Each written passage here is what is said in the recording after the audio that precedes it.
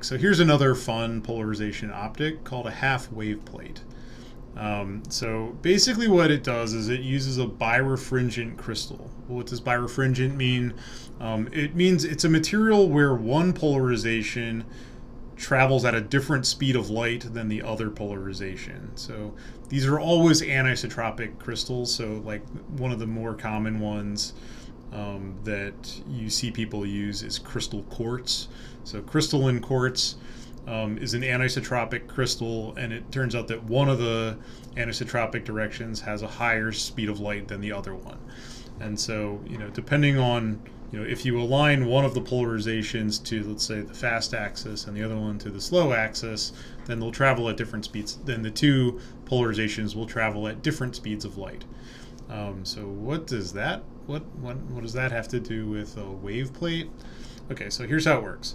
So by slowing down one of the polarizations of light, what we can do is, you know, by the time the light exits the the plate or window or however you want to think about it, by the time it exits the plate, because it slows down, when it exits, it'll be phase shifted from when it went in.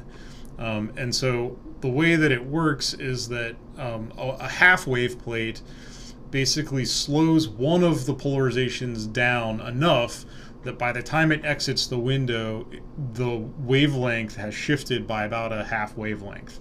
Um, so 180 degree shift in the phase relative to the the other polarization. So okay, um, why would I want to do that? Okay, let's let's take a look at it. So um, now what I'm going to do is I'm going to take an arbitrary incoming wave. So I said that uh, in an incoming light, um, you know, incoming light is just an electromagnetic wave. Um, if it's linearly polarized light, then the two things are in phase with each other. What I can do is I can, um, you know, in in general, the um, electric field can just be written as some vector and the direction of propagation, or the wave-like portion, can be written as e to the i kz, so k is just uh, is called a wave vector, minus omega t, so omega is the frequency, the, the time frequency of oscillation. So basically, like I have some amplitude, which or, or, a vector that describes the electric field portion that has to lie in the xy plane.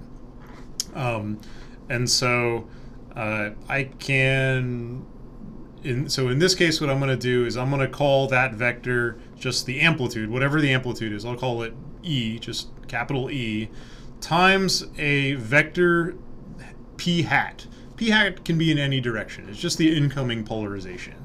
Um, but it is it's a unit vector is the idea. So this p hat thing is a unit vector that describes the direction of the electric field um, for the linearly polarized light.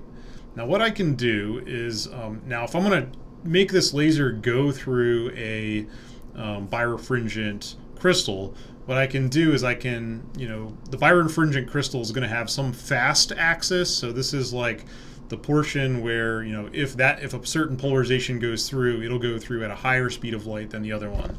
So I'll denote that F hat. So this is the direction of the electric field that is aligned with the fast axis of the crystal, and then I'll draw the I'll draw S as the slow axis. So S hat is the unit vector describing the portion that's aligned, the portion of the electric field that's aligned with the slow axis.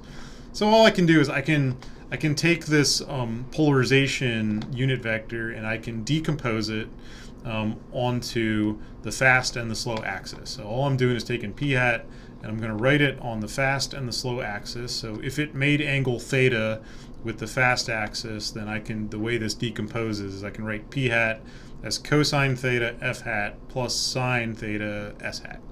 Um, so all I'm doing is I'm just decomposing the polarization vector, unit vector, onto the fast and slow axis.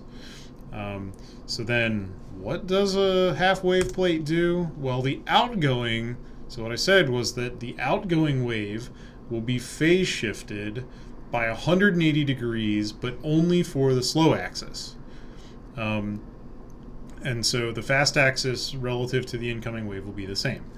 Okay, so then I can write the outgoing wave. So I haven't lost any amplitude of the electric wave. There's no like electric field dissipation in a transparent crystal like quartz.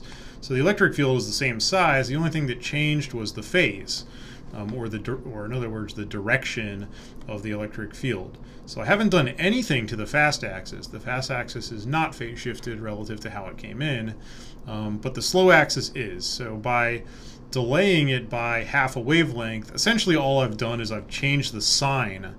Um, so I've just flipped the the uh, the sign of the electric field in the slow axis direction.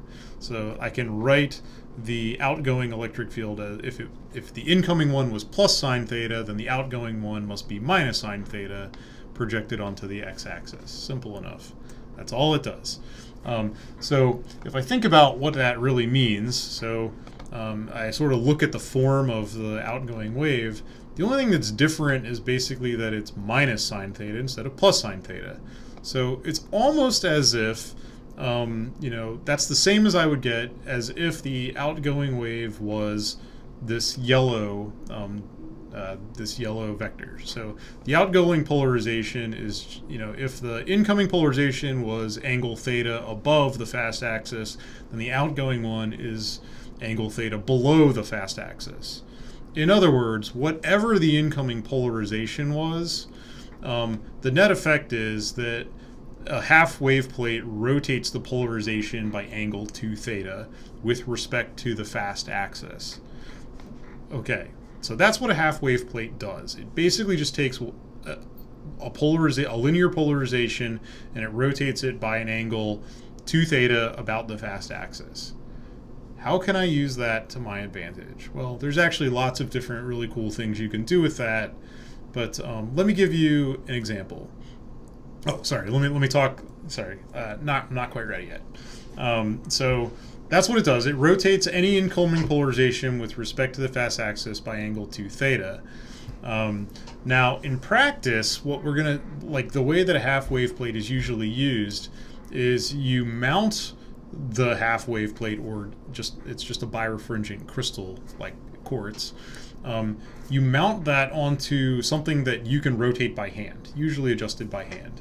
And the idea is that you know if I can adjust the fast axis to be wherever I want it to be that means that I can you know since the rotation happens with respect to the fast axis if I can change the angle of the fast axis that means I can change how much I'm rotating the polarization um, and so basically what a half wave plate does, at least to linearly polarized light, is when um, when a you know when a wave comes in at some polarization, I can rotate it to literally any other polarization just by rotating the crystal.